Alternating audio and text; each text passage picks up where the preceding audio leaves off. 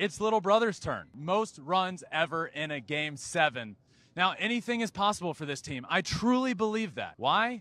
Well, they have superstars everywhere you look. Adolis Garcia, MVP of this series, most RBIs in a postseason series ever. And Corey Seager, a triple away from the cycle here tonight. The stars are hot. The starting pitching did enough. It's sort of bend, don't break. Jordan Montgomery has been huge. Nathan Eovaldi, one of the greatest postseason pitchers we've ever seen, great. And from there, they're just piecing it together.